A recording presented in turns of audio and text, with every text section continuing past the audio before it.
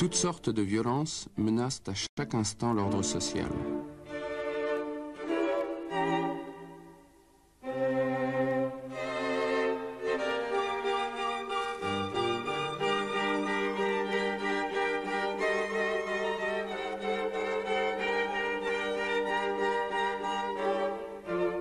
Dans les temps anciens, pour conjurer la violence, on sacrifiait un animal, parfois même un être humain. Le mot sacrifice subsiste aujourd'hui. A-t-il encore le même sens?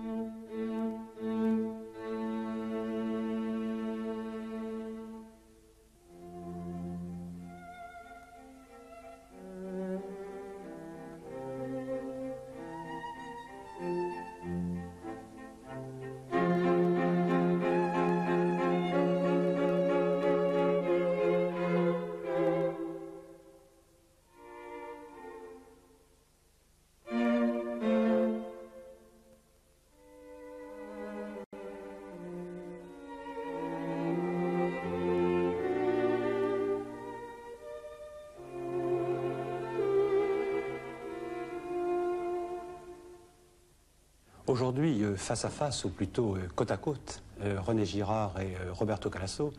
Alors, René Girard, d'une manière un peu provocante, je dirais que vous êtes connu d'un petit cercle d'initiés et d'élus qui connaissent votre œuvre, qu'il y a un second cercle plus vaste qui a entendu un certain nombre de thèmes emblématiques, comme le sacrifice, comme le bouc émissaire, euh, comme la, euh, la, violence, le sacré, d'ailleurs c'est un, titre de, votre livre, sans toujours très bien savoir de quoi il s'agit. Et puis alors il y a tout notre public, des centaines de milliers de personnes, je l'espère plus d'un million, euh, pour qui, je dois dire, certainement vous n'êtes pas très très connu, d'autant plus que vous vivez généralement aux États-Unis et pas du tout en France. Alors si vous le voulez bien, je vous demanderai hein, en quelques minutes de vous dire ce qui, ce qui vous semble, quant à vous, le plus important dans ce que vous apportez et dans les thèmes généraux que vous aimez développer Eh bien, je suis. Euh, comment dirais-je Mes thèmes se sont développés à partir de ma carrière universitaire. Ma formation est une formation d'historien et je me suis, je me suis trouvé euh, devant la nécessité d'enseigner la littérature. Et à une époque où la plupart des critiques cherchaient dans les œuvres euh, l'unique, l'absolument différent, je me suis intéressé au désir, euh, sans savoir grand-chose au fond sur ce qui se disait sur le désir. Et euh, j'ai beaucoup parlé à ce moment-là, à propos des romanciers, de ce que j'appelle le désir euh, mimétique, c'est-à-dire l'imitation d'un désir par un autre sujet, n'est-ce pas, qui emprunte ce désir.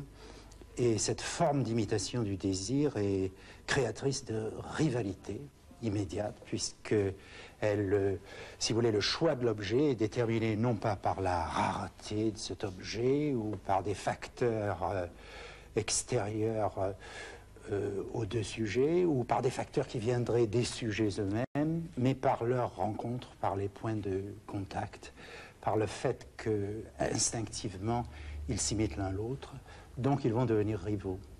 À partir de cette thèse, si on la généralise, le, problème de l'existence d'une société humaine, du fait que les hommes s'entendent, les hommes qui vivent ensemble, si vous voulez, il y a là une, un problème qui se pose, n'est-ce pas Autrement dit, comment les hommes arrivent à surmonter la rivalité mimétique Alors le désir mimétique, c'était à partir de la littérature, et j'ai un très bon ami qui était d'ailleurs euh, un Italien, qui s'appelait Eugenio Donato, qui est mort depuis, qui me disait Tu devrais lire les ethnologues, tu verrais à quel point il y a du désir mimétique là-dedans.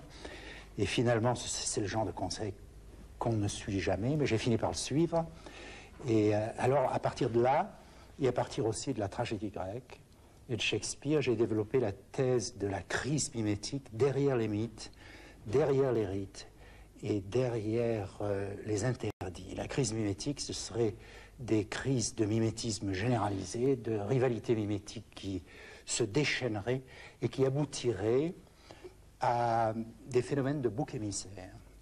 Les rites seraient la reprise par une communauté fondée en quelque sorte par ce phénomène victimaire, la reprise sous une forme atténuée du phénomène qui a sauvé ou fondé euh, la communauté. les mythes seraient le souvenir de cette même crise, c'est-à-dire serait la représentation que les persécuteurs de la victime se font de ce phénomène. Les interdits seraient la contre-imitation de cette même victime dans la mesure où elle apparaît comme celle qui a troublé la communauté. C'est-à-dire on ne refait pas dans une culture ce qui fait que la victime a troublé la communauté, mais on fait ce qui semble faire que cette même victime a sauvé la communauté en mourant dans cette crise, n'est-ce pas?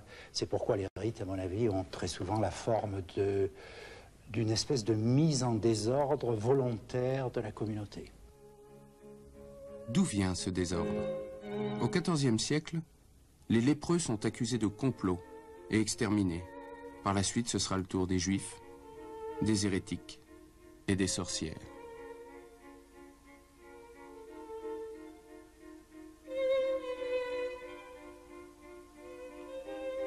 Et même à l'époque des Lumières, la Révolution française peut se lire comme une grande mise en scène sacrificielle, où le roi, la reine, les divers chefs politiques tiennent tour à tour le rôle de victime. Partout, selon Girard, la logique du bouc émissaire. Chez les anciens Hébreux, on chargeait un bouc de toutes les fautes de la communauté et on l'envoyait se perdre dans le désert. Roberto Calasso, vous êtes euh, l'éditeur, vous êtes euh, directeur d'une maison d'édition très connue en Italie, même si elle est de taille relativement modeste, les éditions Adelphi. Vous avez publié aux éditions Adelphi beaucoup d'auteurs contemporains comme euh, Artaud, Thomas Bernard, Elias Canetti, Sioran, euh, Kafka, Schnitzler. Vous êtes aussi l'éditeur de cette grande entreprise qui est l'édition complète des œuvres de Nietzsche, dont nous avons la traduction française, donc l'édition Montinari et Colli, l'équivalent chez Gallimard. Donc. Et euh, vous êtes en même temps l'éditeur italien de euh, René Girard. Vous êtes euh, vous-même écrivain. Vous avez écrit un roman au début des années 70 qui est une sorte de prolongement romanesque d'un des cas les plus célèbres analysés par Freud, le président Schreber. Et vous venez de publier, il y a cinq ans en Italie, mais seulement deux ans en France, La ruine de Cache, qui est un essai dont la forme est très curieuse, qui, est formé de, courts romans, de l'introduction de personnages euh, historiques ou de personnages romanesques, le dialogue entre, entre différents euh, thèmes de la culture française euh, autour de la Révolution et au XIXe siècle, et le personnage principal est Talleyrand. Et ce qu'on peut dire dans un premier temps, et ça va nous, ramener à René Girard, c'est que ce livre s'inscrit dans la lignée des travaux de René Girard, encore que vous prenez pas mal de distance vis-à-vis -vis de lui. C'est un livre qui n'appartient à aucun genre littéraire, je crois où on trouve euh, des parts de fiction, des parts d'analyse, euh, il y a même euh, des séries, des citations, et au centre, il y a une légende. C'est une légende qui a été racontée à Leo Frobenius, le grand ethnologue allemand, par un chamelier en Afrique. C'est une légende, la légende de la ruine de Cache, qui a au centre justement le thème du sacrifice. Et ça, c'est le vrai centre du livre. Et évidemment, euh, ça me relie forcément aux recherches de René Girard. Et, à part ça, c'est vrai que dans ce livre, il y a un guide, un guide euh, qui est en partie visible, en partie invisible, c'est Talleyrand. Talleyrand est la figure qui traverse euh, ces années que j'ai pris comme années exemplaires de l'histoire européenne, qui sont les années 1780 jusqu'à 1835, plus ou moins, où euh, ce qui s'est mis en place, d'une certaine façon, c'est une sorte de nouveau théâtre de la société. Ce sont les phases canoniques qui reviennent comme une répétition compulsive dans l'histoire euh, après. Et alors on a l'Ancien Régime, on a la Révolution, le directoire, la terreur, le directoire, l'Empire, la Restauration, le règne de la bourgeoisie. Talleyrand est la figure qui traverse toutes ces phases. Et euh, le sacrifice aussi traverse toutes ces phases. C'est-à-dire qu'on assiste en ces années-là à une métamorphose de cette notion qui est, je crois, centrale euh, en soi, pas seulement parce que euh, Gérard et moi, nous avons passé des années en étudiant cela, mais parce que je crois que c'est un, point euh, qu'on ne peut pas éviter. C'est le point euh, sur lequel est fondée une grande quantité de sociétés archaïques, et c'est un point sur lequel aussi notre société, où le sacrifice n'est pas admis comme une euh, notion de la vie consciente, est quand même à l'œuvre, exactement avec la même force, peut-être plus que dans le passé. J'ai l'impression que Roberto Calasso, s'il y a une thèse sur l'origine du sacrifice dans votre livre, c'est que le sacrifice finalement remonterait à, vous parlez de faim, vous parlez de mort, vous parlez de chasse. Et alors là, je crois reconnaître quelque chose de peut-être de la tradition euh, suisse-allemande, de euh, Walter Burkert, des gens qui font de la chasse, l'origine du sacrifice. Euh, non, là, je dois dire que j'ai une grande admiration soit pour Moyle, soit pour Burkert, mais euh, je ne tiens pas beaucoup à un discours sur les origines du sacrifice. Je crois que si on descend beaucoup plus près de nous, euh, c'est-à-dire si on part de la, par exemple de la Grèce ancienne, on peut retrouver ces grands thèmes des origines sans besoin d'hypothèses euh, historique euh, ou de phase. Il y a, je vais citer un, rite grec, qui est un rite que nous connaissons juste par hasard, parce qu'il y a une page de Théophraste qui a été citée par Porphyre dans De l'abstinence, où, je crois, on trouve la, description la plus lucide que je connais du sacrifice dans le monde gréco-romain. C'est le rite de Bouffogne. Et ça, euh, je vous raconte rapidement l'histoire. L'histoire est la suivante. Et on dit, Théophraste dit qu'au commencement, il n'y avait pas d'offrande sanglante à la divinité. On offrait des gâteaux, simplement, des fruits. Et un jour, il y avait justement des offrandes, euh, des fruits qui étaient euh, sur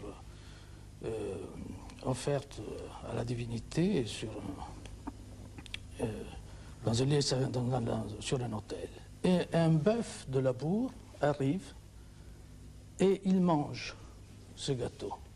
Alors, un, personnage qui s'appelle Sopatros tue ce bœuf, pris par une sorte de, euh, rage, parce qu'il a fait un acte impie. Il tue le bœuf et puis il s'enfuit. Après ça, il y a une sécheresse, la crise dont vous parlez très souvent dans vos livres, et euh, les Athéniens vont demander à la Piscie, à la Pythie, qu'est-ce qu'il faut faire? Et la Pythie répond qu'il faut avant tout rappeler Sopatros de son exil, il faut euh, remettre, euh, c'est-à-dire euh, mettre le bœuf mort euh, devant les, offrandes, encore une fois, il faut enfin répéter tout ce qui s'est passé. Et après ça, il y a un procès. Et ça, c'est le point où on arrive justement au centre du problème, je crois. il y a un procès parce qu'il faut trouver un coupable. Alors, il y a de jeunes filles qui sont des porteuses d'eau, qui ont porté l'eau pour aiguiser la hache avec laquelle on a tué le bœuf. Il y a les, gens qui ont aiguisé cette hache. Il y a l'homme qui a donné le coup de hache sur le bœuf, qui l'a tué. Il y a le bœuf lui-même. Et à la fin, le résultat, c'est que, que, chacun déplace la faute sur l'autre. Les porteurs d'eau disent oui. Et à la fin, ce qui est le coupable, c'est le couteau. C'est le couteau. C'est la, seule chose qui ne peut pas répondre. Et il est noyé. Alors, je trouve que la lucidité. C'est cette chose extraordinaire que dans le sacrifice tel que nous le je ne sais plus si c'est Théophraste, mais chaque euh, section de la ville d'Athènes amène un bœuf euh, qui d'abord est marqué d'un signe qui euh, dit son appartenance. Et lorsque les bœufs sont autour de l'autel, on enlève toutes ces marques, n'est-ce pas Et les bœufs tourne autour de l'autel. Enfin, c'est le premier animal qui mange les offrandes, qui d'une certaine manière lui aussi se déclare comme euh, coupable. Ouais, et oui, la voie ça, à la fois justement. C'est ça. Alors je disais euh, justement qu'il faut remonter à, la- à la question de la faute. Et la faute, je crois, c'est une faute, tandis que dans vos ouvrages, quand même, il y a euh, le centre et sur la société elle-même, qui a besoin de cette représentation persécutrice qui aboutit à- au meurtre d'une victime, là, je crois, on a une vision un peu différente. C'est-à-dire que la faute commence au moment même où quelqu'un mange quelque chose. C'est-à-dire que le, le mal, si on voit le mal de, de deux côtés, comme le grec aimait le faire, c'est-à-dire le adikein et le adikeist, le mal passif et le mal actif, on commence dans une situation où le mal, c'est simplement la disparition, Oui, le fait votre- qu'on qu'on meurt. Là, votre point de départ, c'est les bouffonnières. Mais alors là, mon point de départ serait tous ces rites, si vous voulez, où tous les groupes de la communauté entrent en rivalité et où des phénomènes d'inversion et des phénomènes d'indifférenciation entre les pères, les fils, les supérieurs, les inférieurs, n'est-ce pas, ou une série de moqueries, n'est-ce pas, de disputes et euh, de désordres organisés, on peut dire, ou de, pas, commence et où peu à peu, à mesure que l'agitation s'accroît, il y a une tendance à, euh, à la violence à se diriger, si vous voulez, vers la, la bête sacrificielle. Alors moi, je préférerais éviter toute euh, notion de culpabilité et dire ce qu'il s'agit d'obtenir, n'est-ce pas, c'est la fin de l'indifférenciation. Cette fin de l'indifférenciation qui est si nette dans la tragédie grecque, et Théocle et Polynice, comment les différencier? Ce que Créon dit, c'est qu'il faut une différence. Et à mon avis, Antigone ne représente pas du tout la famille, comme le dit Hegel, mais elle dit, les deux frères ont fait la même chose, ils sont tués ensemble, du même coup d'épée, la description première est ceci, et elle dit, moi je ne ferai pas de différence entre eux, parce que les dieux peut-être ne veulent pas cela. N'est-ce pas? Et Je crois que le, le tragique ne, ne choisit pas. Antigone dit la vérité. La vérité est tragique parce que si cette vérité se perpétue, elle perpétue la violence. Et la situation première se répète entre Antigone et, Créon, etc. Alors, il me semble, si vous voulez, que le sacrifice est toujours euh, ce qui rétablit la paix et ce qui doit être répété dans les situations de crise pour refaire, n'est-ce pas, cette, cette paix. À la différence de, de Roberto Calasso, vous, vous, vous- vous datez en fait le passage d'un ordre sacrificiel à un ordre qui ne serait plus non sacrificiel. Oui, alors non, que lui, que- il a l'air de non, dire que non. c'est un processus qui est permanent, qui Oui, se, non, non. comme l'a dit Calvino d'ailleurs dans son article sur votre livre d'une façon assez drôle, c'est quelque chose qui se situe entre le, Le le paléo- paléolithique. le paléolithique et l'ère industrielle. En fait, c'est donc quelque Voilà, chose qui est flou. Alors que vous, vous, le, vous le datez Mais je suis d'accord avec lui sur l'idée extraordinaire qu'il a, c'est que euh, le sacrifice tend à sa propre révélation, malgré tout, de façon, euh, à sa propre atténuation. Il y a certaines formes d'usure du sacrifice qui sont cycliques, bien sûr, mais qui sont aussi pas seulement cycliques. J'ai l'impression, évidemment, que vous dites ça. Ce que Calasso dit, c'est que avec la fin des rites, avec la- le sacrifice se diffuse partout. C'est vraiment la métastase cancéreuse du sacrifice, notre univers, l'expérimentation industrielle, la critique littéraire. C'est le sacrifice sans le sens de la faute. C'est ça. C'est ça notre monde. et- C'est ça. Et puis surtout, sans la petite partie à la place du tout. Ouais. Mais moi, ce qui m'effraie, alors j'ai bien entendu, c'est qu'on est obligé de dire, c'est malgré tout une vision sacrificielle de la réalité, où le seul moyen de vivre entre les hommes, ce serait de revenir à une mesure sacrificielle. Non, alors là, c'est justement le point le plus délicat. Je crois, euh, justement, euh, en, en essayant de m'expliquer à moi-même mon rapport avec Girard, je pensais euh, à Chestov, au fait qu'il disait que, en fait, tout ce que nous pensons se pose dans une polarité Athènes-Jérusalem. Dans cette polarité, évidemment, Girard est beaucoup plus près de Jérusalem, et moi, probablement, je suis plus près d'Athènes. Alors ça explique un peu cette tension. Et euh, je crois que le thème de la révolte contre le sacrifice n'est pas seulement un thème euh, biblique et, chrétien, c'est un thème euh, que l'on trouve dans, dans l'Inde ancienne, par exemple. Le renonçant, ce personnage fondamental de l'Inde ancienne auquel Louis Dumont a dédié une analyse très révélatrice et qui est d'une certaine façon euh, l'ancêtre de l'individu moderne. C'est ça sa thèse, je suis tout à fait d'accord. est quelqu'un qui se retire du sacrifice, mais qui ne peut pas nier la, euh, vérité métaphysique du sacrifice. Simplement, il ne veut plus participer à cette euh, cérémonie qui se, sanglante qui se répète tout le temps. Et Orphée, Orphée euh, dans la tradition euh, grecque, est tout à fait correspondant. C'est-à-dire, euh, on sait que personne ne sait définir l'orphisme, mais il y a trois mots qu'on trouve euh, dans Aristophane qui, sont, qui touchent l'essentiel. Apegestai tu s'abstenir du meurtre. Alors, et c'est pour ça aussi que Corphée est tué à la fin par les Bassarides, justement parce qu'il est un apostate de ce système. Mais ça ne veut pas dire qu'il refuse l'attitude sacrificielle.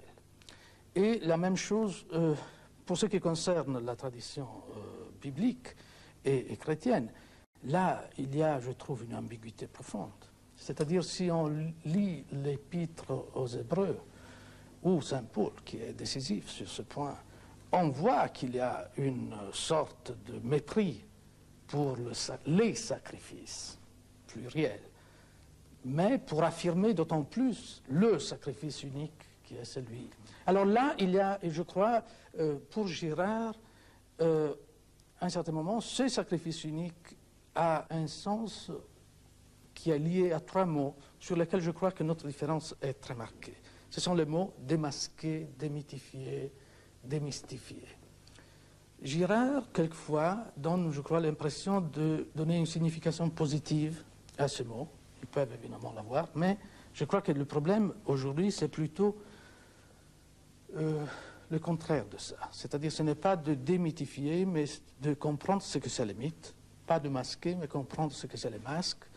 Pas de mystifier, mais de comprendre ce que c'est le mystère. Ces mots ont subi une, un passage. Le grand moment de ces mots, c'était exactement il y a 100 ans, avec Nietzsche. Après ça, c'est une banalisation progressive qui aide à euh, oublier simplement ce qui est le vrai mystère de ces trois catégories. Alors naturellement, Girard va beaucoup plus loin que ça, mais quand même, il maintient une sorte de sympathie pour ça. Et, et là, je crois qu'on... Alors là, je ne suis pas tout à fait d'accord. D'abord, je- un mot sur le renoncement. Je, je pense que d'une certaine façon, Heidegger, puisqu'on parle tant de lui en ce moment, qui a parlé de ce fameux dialogue, vous savez, entre l'Orient et Oui. l'Occident, et c'est au niveau du sacrifice que ce Oui, dialogue doit se situer, Oui, n'est-ce pas Et personne ne le là. oui. Et alors, à mon avis, les deux attitudes fondamentales, si vous voulez, sont précisément celles de l'Inde, qui dit on peut se retirer du sacrifice, c'est-à-dire il y a un lieu hors du sacrifice. Si je ne mange pas de viande, si je sors du monde, etc., je peux sortir du sacrifice.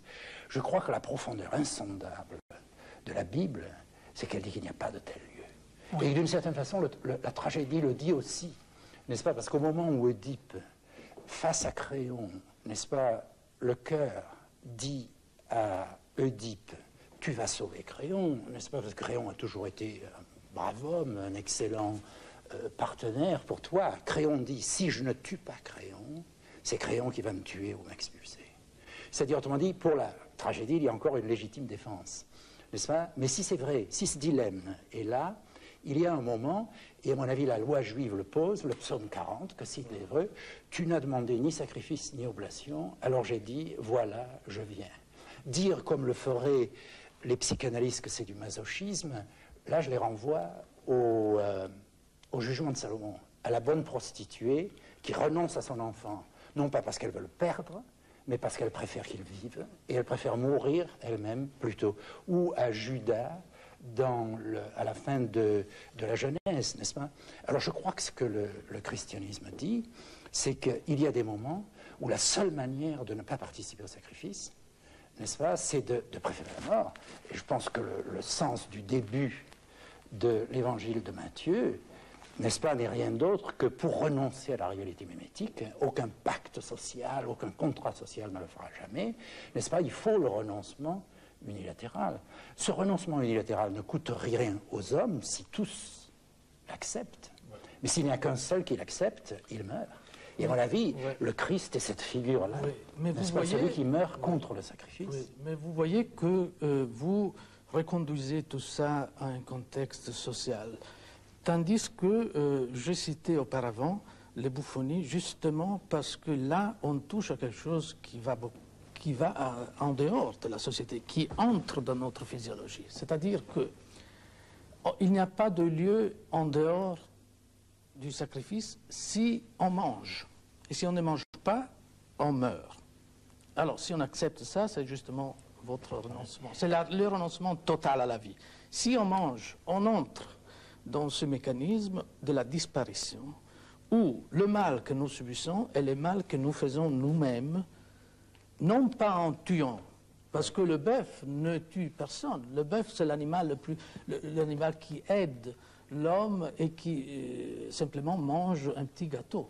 Mais c'est ça la, finesse métaphysique euh, du rite grec, que je, fait remonter la, la, faute non pas à un meurtre, mais à quelque chose de beaucoup plus normal et d'inévitable que l'acte de manger. avec vous qu'il y a des aspects insondables du sacrifice.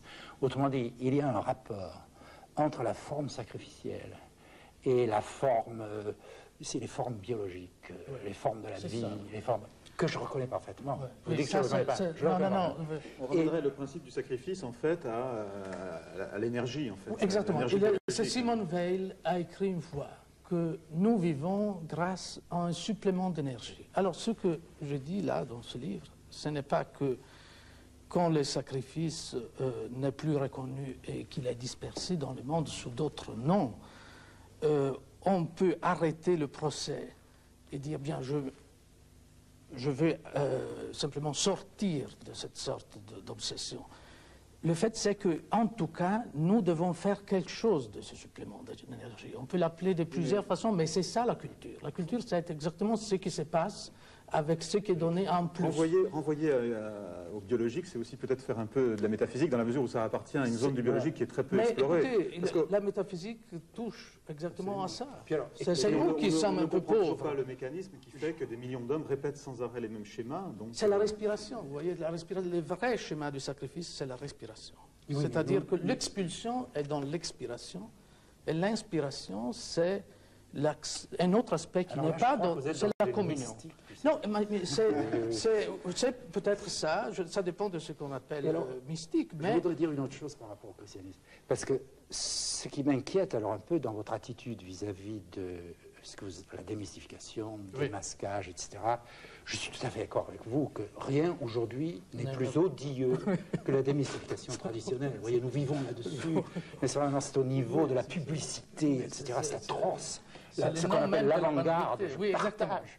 Oui, je veux dire, aujourd'hui c'est au niveau le plus bas, et là c'est un des aspects les plus libérateurs de votre livre. Mais en même temps, nous ne pouvons pas abandonner, si vous voulez, la grandeur du rationalisme occidental.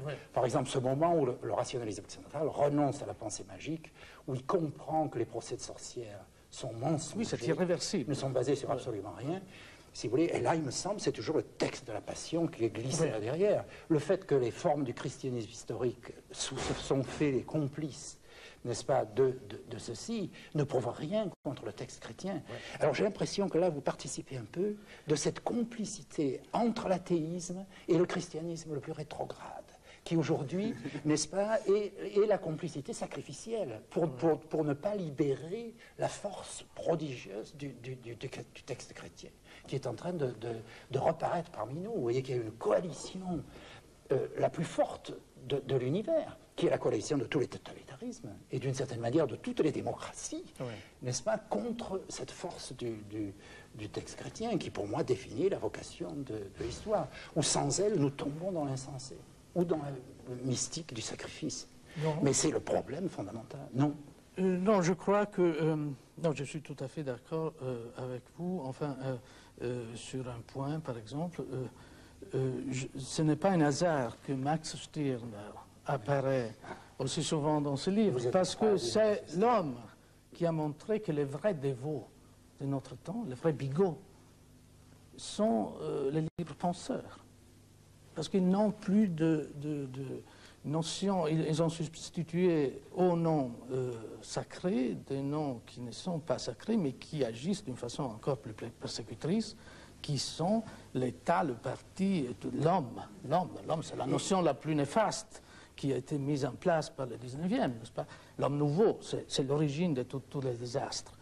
Et alors là, sûrement, je, ne vais pas en cette direction-là. L'autre, qui est la direction... Il me semble d'abord qu'il y a là, et il faut le dire, chez vous, une reprise des analyses de Foucault, par exemple, sur le XIXe siècle, de façon beaucoup plus puissante, parce qu'elles se font à l'aide du sacrifice, donc instrument qui manque à Foucault. Mais ce que Foucault voit, c'est que des mécanismes sacrificiels dont les Lumières croyaient s'être libérées reparaissent sous une autre forme. À mon avis, il a tort de dire qu'elles sont plus violentes au XIXe siècle que la torture au XVe siècle. C'est l'exagération inverse à celle de l'orgueil des, Lumières, n'est-ce pas? Et ça me paraît un extrémisme aussi facile, finalement. Tout à fait Mais il me semble que votre vision, là, est très, très... Euh, Donc je crois que les Lumières ne peuvent pas nous donner beaucoup euh, d'aide en tout ça. C'est-à-dire que euh, euh, vraiment, la philosophie des Lumières était fondée sur un procès d'annulation, c'est le négligeable de de tout ce qui est quand même au centre de ce qui se passe autour de nous. Mais la situation ambiguë où nous vivons, c'est que, en même temps, et là, je voulais préciser ma position, nous vivons dans une situation qui est en même temps en deçà et au-delà du sacrifice. C'est ça qui, est, qui rend... Nous vivons pas dans un enfer, mais dans un faux paradis. Et je pense que ce qu'il y a d'extraordinaire dans notre monde, et dont on ne parle pas assez, c'est nous vivons dans un univers où il n'est question que de victimes. On ne peut plus persécuter les gens qu'en les accusant d'être des persécuteurs. C'est-à-dire, on ne peut plus commettre de violence, n'est-ce pas, sans propagande préalable. Vous voyez, Imaginez l'univers romain ou l'univers grec, c'est impensable. Ça, c'est évidemment le fruit du christianisme. Je pense que Nietzsche, en disant ressentiment partout, ne, voit pas que, avant qu'il y ait la parodie de ceci, il faut qu'il y ait un original, puisqu'il y a même le, sacrifice méconnu, n'est-ce pas, dans l'Antiquité. Alors l'original doit être quelque part, n'est-ce pas, de, cette arrivée de la vérité. Oui, là, euh, et on revient un peu à ce qu'on disait auparavant, de votre côté, il y a une opposition entre le côté Jérusalem et le côté Athènes, dans le sens que seulement à Jérusalem, on arrive à cette conscience. Moi, là, euh, je me suis rappelé d'une phrase qu'on trouve dans Simone Veil, où elle dit que toute la confusion moderne naît d'une certaine façon à la Renaissance, justement parce que euh, à la Renaissance, on essaye de se mettre de nouveau en contact avec le monde païen, en oubliant qu'il y avait un accord profond, par exemple, entre la symbolique médiévale et les textes grecs. Alors, entre Platon et, les évangiles, elle a fait voir qu'il y a, du point de vue métaphysique, des correspondances euh, énormes. L'échi du Timée et la croix, la théorie de l'autre, tout, ça euh, se retrouve avec c'est pour moi, là, on touche un problème tout à fait différent dont je n'aime pas parler dans ce livre. Je vois plutôt la différence entre la façon grecque de concevoir le sacrifice et la façon de la tradition juive, plutôt comme une question de style. Alors je ne dis pas ça comme une provocation, parce que pour moi, la question de style, ça touche à l'essence.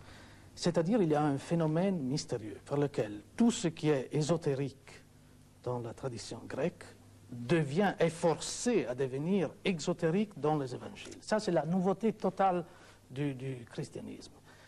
Ce qui est caché doit devenir manifeste. La messe, c'est enfin c'est un mystère mis au jour. Mais l'essence de la cérémonie est beaucoup plus près de ce que l'on pense. Je crois que les analyses de Simon Veil étaient allées dans cette direction, étaient très précises. Alors, euh, et de ce passage de l'ésotérique à l'exotérique total, euh, descend le monde moderne à la fin. Dans les Upanishads, les textes sacrés de l'Inde ancienne, deux oiseaux sont mis en scène. Le premier mange le fruit de l'arbre du monde.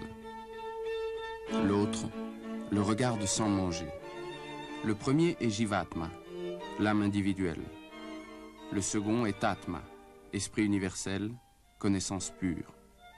En fait, ils ne sont pas dissociables. Il y a un point qui est le, centre secret du mécanisme du sacrifice.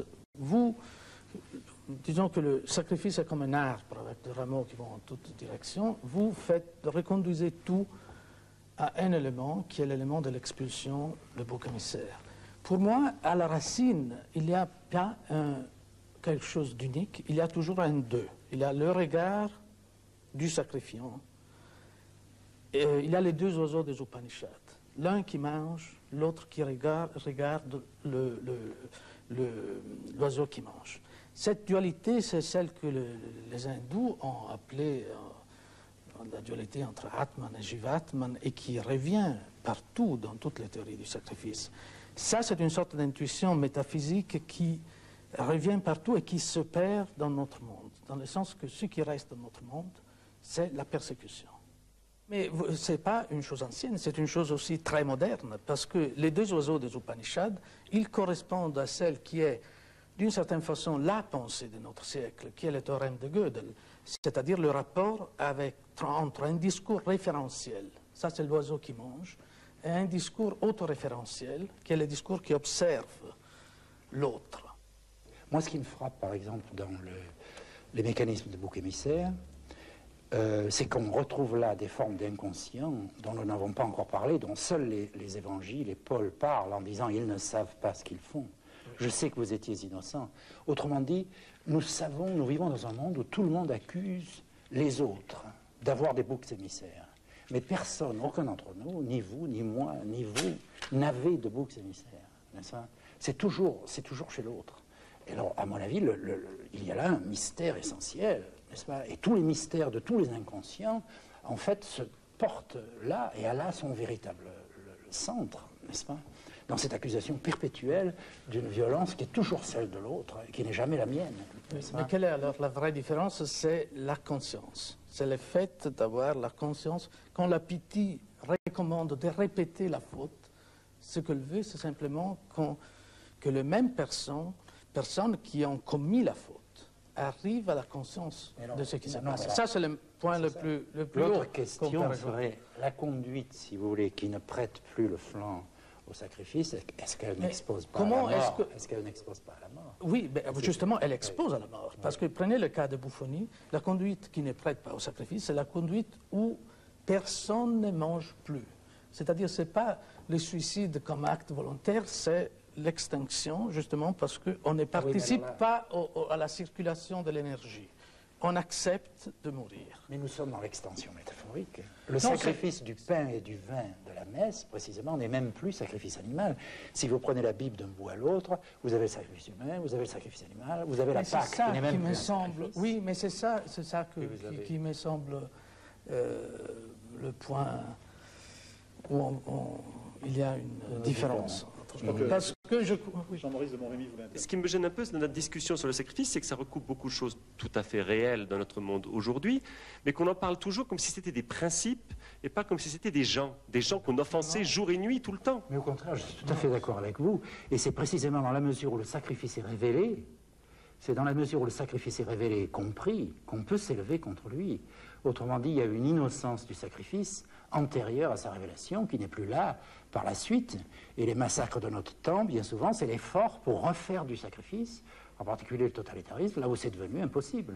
N'est-ce pas? Et précisément, moi, j'hésiterai pas à dire euh, péché, mal, etc. Mais il est bien évident que c'est pris dans un cadre liturgique, théologique, etc. Le, le plus grand livre nazi s'appelle Le mythe du XXe siècle, et son vocabulaire est tout entier religieux n'est-ce pas? Par conséquent, ne pas voir ceci, si vous voulez, dans le lien avec le passé, c'est précisément ne lire ni l'Épître aux Hébreux, ni Paul sur le sacrifice, ni le, langage sacrificiel, qui est partout là. si vous voulez, là, je sais pas, il y a quelque chose que, j'aimerais un petit peu comprendre, dans la, dans la manière dont vous euh, définissez le sacrifice, parce qu'on parlait tout à l'heure de l'Inde. Euh, mais enfin, si on, si on, prend la civilisation indienne, et on le retrouve dans tout un certain nombre d'autres mythologies, euh, c'est dans la mesure où il y a un sacrifice d'une divinité au départ, c'est-à-dire une limitation qui est posée à la toute-puissance de la divinité, que l'humanité en tant que telle peut, euh, peut exister. Et d'une certaine manière, je dirais, évidemment, ce n'est pas le même statut. Enfin, d'une manière, dans le christianisme, c'est un petit peu la même chose qui se joue. Je veux dire par là qu'il faut quand même qu'il y ait le sacrifice du, Fils permis par le Père et admis par le Père, et qu'il y ait quelque chose qui soit, qui soit posé là. L'histoire du Christ raconte le cycle parfait d'un bouc émissaire. Mais un bouc émissaire particulier, puisqu'il s'est désigné lui-même. Et pour Girard, les évangiles auraient une véritable valeur scientifique parce qu'ils nous permettent de comprendre toute l'histoire humaine. La violence fondamentale est mise à nu, la victime cesse d'être coupable, le sacrifice est dénoncé comme un rite absurde. Christ, c'est la seule figure qui apparaît en même temps comme victime et sacrifiant. C'est le grand-père, le grand prêtre à la manière de Melchizedek, comme l'Épître aux Hébreux répète plusieurs fois, et elle ajoute, l'Épître, qu'on ne peut pas être grand prêtre sans avoir quelque chose à sacrifier. Et c'est la victime, comme nous savons. Alors là, euh, euh, dans l'interprétation de Girard, le côté euh, sacrifiant de Jésus est, je crois, un peu mis de côté. Tandis que la révélation qui vient du savoir de la victime, parce que je dis quelque part, il y a deux savoirs qui se mêlent toujours dans la pensée, c'est le savoir du sacrifiant qui dit tu es cela, c'est-à-dire c'est la conscience de l'acte. Et de l'autre côté, il y a le savoir de la victime qui a été exprimé avant les évangiles en trois mots de Schill, topate matos, par la souffrance, la connaissance. Ça, ce sont les deux savoirs qui se rejoignent dans, les évangiles, dans la figure du Christ. Mais ils, ils existent ensemble. C'est ça qui est la chose la plus dure à penser. La coexistence de ces deux personnages opposés qui sont les sacrifiants et la victime. Et c'est ça qui continue à nous persécuter de certaine façon dans notre monde, parce que tout se dépasse de l'un à l'autre sans voir le lien entre les deux choses. Moi, je pense que le Christ est avant tout modèle de conduite non sacrificielle, qui, si elle était suivie par les hommes, n'est-ce pas, euh, serait l'immédiateté du royaume de Dieu. N'étant pas suivie par les hommes, elle fait de Jésus une victime sacrificielle comme les autres, à ceci près que le texte va dire la vérité, comme les autres, en ce sens que tous les disciples euh, renient euh, Jésus, que les autorités, etc., qu'il y a cette unanimité, mais que le texte, au lieu de présenter le point de vue des persécuteurs, représente le point de vue de la victime innocente. Je pense que celui qui a dit cela de la façon la plus admirable, d'une certaine manière le plus grand théologien du euh, monde moderne, mais très pervers, c'est Nietzsche dans l'ancien aphorisme 1052 de la volonté de puissance, qui dit Dionysos et Jésus, même euh, mort collective. La différence, c'est que le non-chrétien, non-judaïque accepte le sacrifice qui est nécessaire à la création des aristocraties et à la culture, alors que Jésus, c'est la victime innocente qui est une calomnie contre toutes les religions. Ça, à mon avis, c'est la chose la plus prodigieuse que Nietzsche ait jamais dit, qui a été évacuée par Heidegger et le nietzschéisme contemporain, n'est-ce pas Et qui, d'une certaine manière, est le côté paradoxal du christianisme moderne. Comment peut-on expliquer que depuis des siècles et des siècles et des siècles, donc le mécanisme victimaire est, mis à nu et enfin, est montré, et que ça n'a pas en fait servi... Euh, si, le, mécanisme, si la lecture euh, non sacrificielle du christianisme était apparue tout de suite, le monde aurait sauté ce que je veux dire? Je pense que la lecture sacrificielle du christianisme par les chrétiens est l'équivalent, d'une certaine manière, de l'ancienne loi. Je vois une espèce de gémellité. Je veux dire, et l'échec du christianisme, le, fait que la Shoah, à mon avis, c'est la preuve que les chrétiens ne sont pas des chrétiens, qui sont incapables de lire les malédictions contre les pharisiens, d'y lire la formule de leur antisémitisme, qui sont restés tels qu'à l'époque des croisades, qui s'imaginent que par la violence, si vous voulez, parce que qu'est-ce que ça veut dire être antisémite? Ça veut dire que les juifs sont les seuls à avoir tué le Christ. Donc, d'une certaine manière, c'est rejeter le meurtre collectif, toujours, sur des boucs émissaires. Mais c'est le bouc émissaire par excellence en monde chrétien, parce que son sens théologique est très immédiat. À partir du moment où il y a cette phrase dans les évangiles, on ne peut plus être, euh, on ne peut plus se cacher la vérité qu'en la rejetant sur les juifs. Où il y a encore un dernier moyen aujourd'hui, qui est de la rejeter sur le texte lui-même, et de dire que c'est lui qui nous, euh, qui nous sépare et nous, et nous divise. Je pense que, que, que, notre explicitation des textes est en retard, si vous voulez, sur euh, les possibilités de l'histoire actuelle. Par exemple, il me semble que si vous voulez, nous vivons dans un univers où nous sommes menacés euh, chaque jour d'un désastre écologique ou d'une, de l'arme nucléaire, c'est-à-dire un univers où la vengeance est en train de devenir impossible. Même personne ne voit le sens évangélique de ceci. Il est bien évident que si d'une autre planète apparaissaient des hommes et qu'ils disaient vous êtes toujours en train de regarder le mythe de Deep ou celui de Dionysos, et vous avez un texte qui dit si vous continuez à pratiquer la vengeance, vous allez périr. Au deuxième siècle après Jésus-Christ, le principal obstacle à la conversion, c'était le fait que personne ne pouvait croire à la fin du monde. Et aujourd'hui, que la fin du monde est visible partout, pour des raisons qui sont celles de la violence des hommes, c'est-à-dire qui apparaissent à tous les niveaux de ce texte, et qui sont celles de la désobéissance aux préceptes évangéliques, il n'en est pas question. Il n'en est question nulle part. Est-ce que le silence de notre culture, d'ailleurs qui, qui n'est pas présent chez M. Calasso, n'est-ce pas? Est-ce que le silence de notre culture, si vous voulez, l'impuissance actuelle de notre culture, ce n'est pas le, fait de ne pas sortir ces choses-là? Oui, cette violence suprême, elle, elle est suspendue, mais sous ce bouclier, sous ce chapiteau, il y a toutes sortes d'autres violences qui, elles, continuent euh, exactement comme avant. Oui, si vous voulez. Mais, mais bien sûr, bien sûr. Si, si, vous voulez, si les chrétiens étaient fidèles à leur révélation, n'est-ce pas Le royaume de Dieu serait là parmi nous leur infidélité, je ne vois pas ce qu'elle dit contre le texte. C'est là qu'on a du mal à vous suivre. Ben oui, mais c'est parce que vous avez une vision pragmatique et recette. Le christianisme, certainement pas une recette. moi, ce qui, m'a intéressé dans ce que disait M. Calasso tout à l'heure, qui m'a frappé, c'était, en fin de compte, si je, si je peux résumer sa pensée, euh, nous existons, virgule, il y a du mal.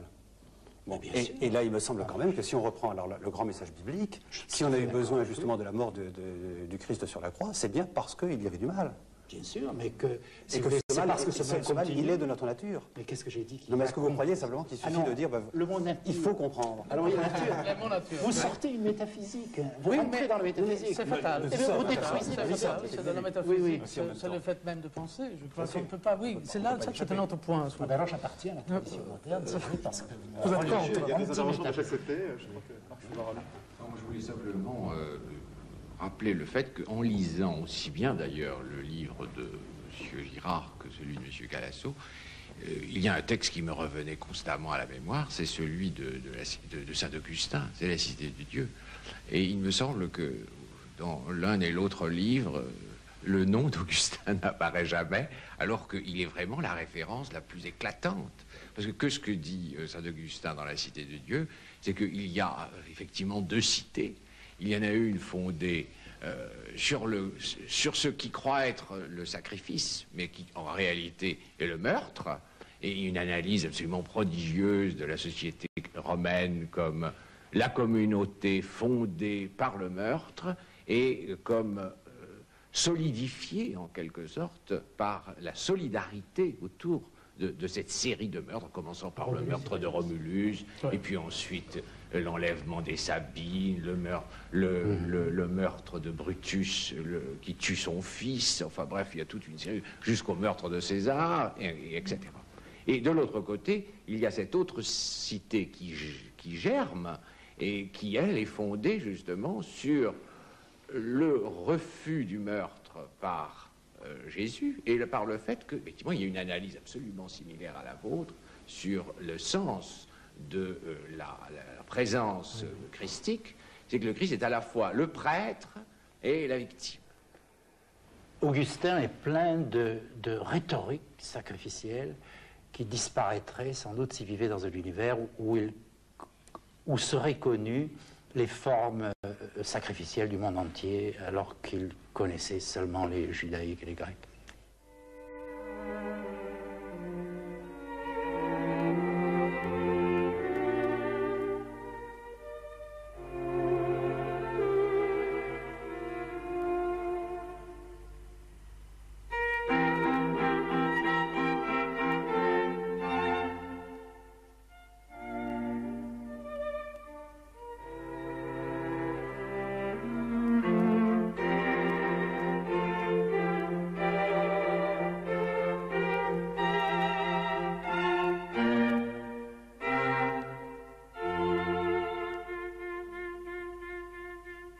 Très bien vivre sans le bon sacrifice, mais on ne peut pas vivre sans une analyse de ce qui se passe, de ce supplément d'énergie dont parlait Simone Weil, qui est quand même un autre nom de la nature, de notre nature physiologique. Et alors tout se décide sur ce qu'on fait de ce supplément. Et euh, il y a une sorte d'aveuglement, je trouve, en notre monde qui permet en même temps son fonctionnement à propos de cela. Vous savez, le, le- le sacrifice, c'est un mot qui maintenant revient surtout en termes d'économie. En termes d'économie, bien sûr. voyez, ça, ça, on parle, et c'est la preuve de tout ça, parce qu'on est revenu à la position la plus absurde du monde moderne, comme si c'était le bon sens, c'est la position des Bentham. Voilà. Le calcul de plaisir et de peine. Et le calcul des souffrances nécessaires oui, au bien-être et général. ça, si on pense que quand même les grands économistes aujourd'hui quand même se réfèrent à ça derrière eux, ça veut dire qu'on on ne sait plus nommer l'inconnu, ni reconnaître qu'il est inconnu. C'est ça qui, a des conséquences affreuses. C'est pour ça qu'il y a des purges qui signifient des dizaines de millions de personnes qui sont tuées. C'est pour ça qu'il y a deux mots qui passent dans les journaux comme Holocauste sans, mémoire de ce que ça signifie. Et, c'est pour ça que je disais qu'on en se trouvant dans cette situation qui est en même temps en deçà et au-delà du sacrifice, on est dans cette sorte de faux paradis qui est le paradis de l'ésotérisme forcé. Un monde où le mystère est devant tout le monde, il est nommé, mais il n'est pas reconnu. Personne ne le voit. C'est ça.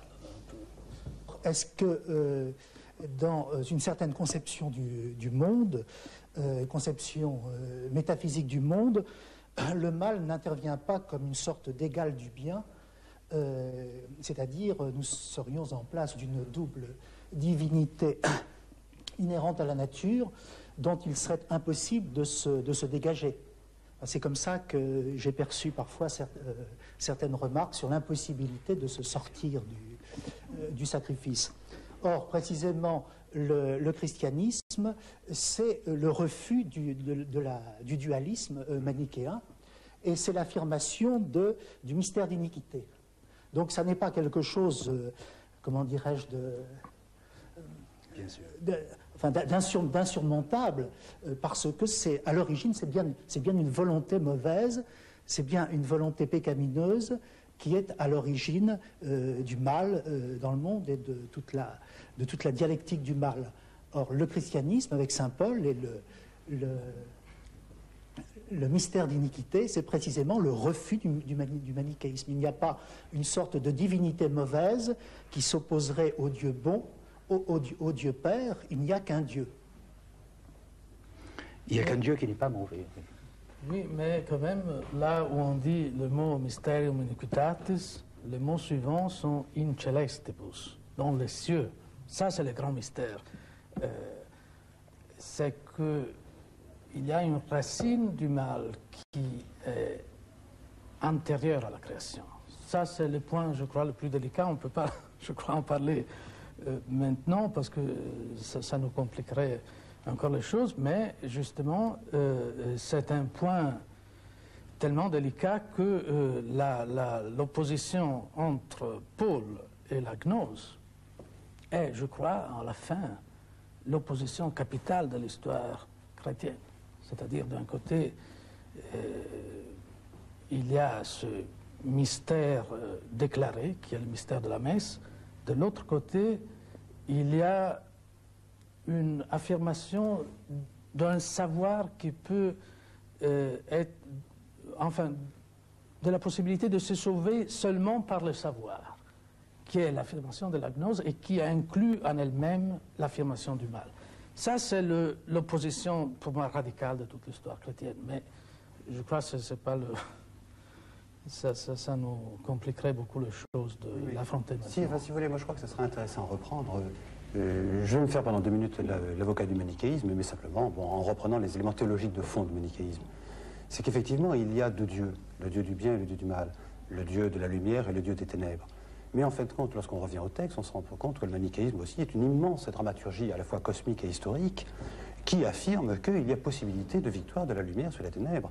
Et que ce que nous devons faire, justement, c'est assurer, c'est participer à, cette victoire. Par le savoir. Oui. C'est ce qui est le point de contraste. Par le savoir, mais en même temps par une autre notion. que- ce qui veut dire par la conscience. Exactement, mais par une autre notion qui justement va avec ce savoir et cette conscience, une notion dont nous avons assez peu parlé, qui est celle de l'auto-sacrifice. Oui. C'est-à-dire en quelque sorte se vider de soi-même de manière à rendre sa plénitude à la divinité. Alors, ce qui m'étonne justement, c'est que dans le sacrifice, on a toujours considéré le sacrifice comme le sacrifice qu'on impose aux autres. Oui, et on a peu parlé du sacrifice euh, comme le je, sacrifice. je parlais de ça quand je me référais au sujet double.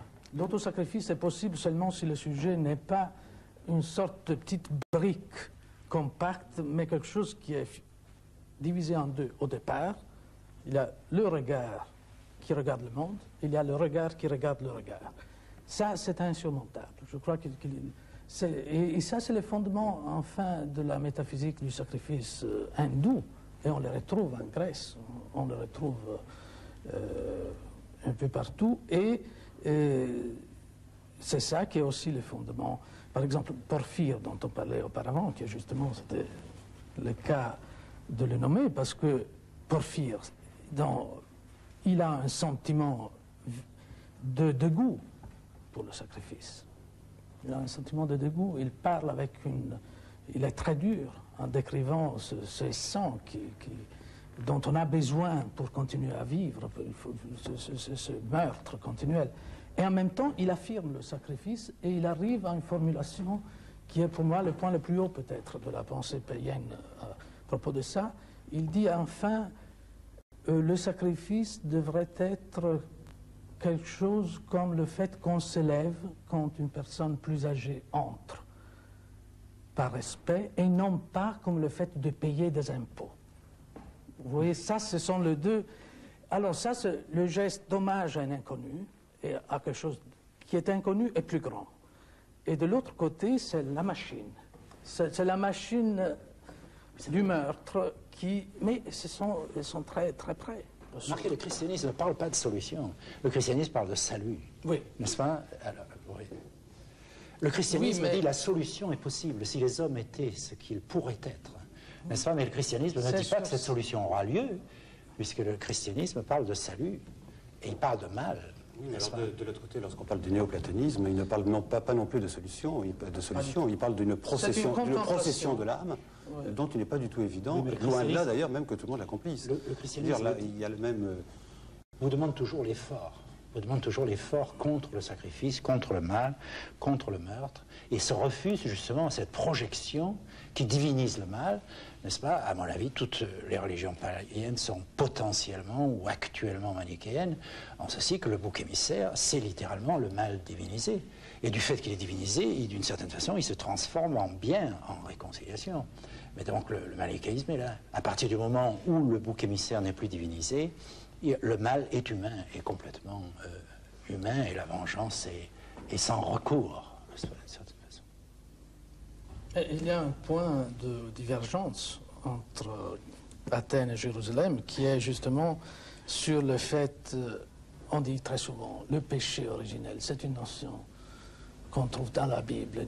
Aucune part ailleurs, il y a une lucidité telle sur le fait de l'origine du mal.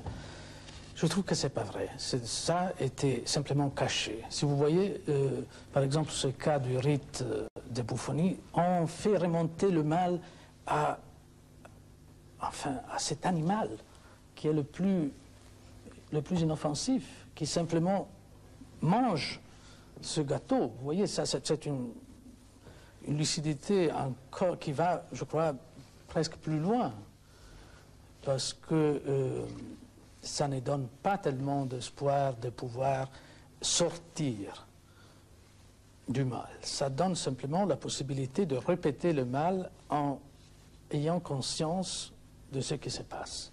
Ça, c'est un point où il y a une le- opposition c'est le couteau assez... le seul coupable.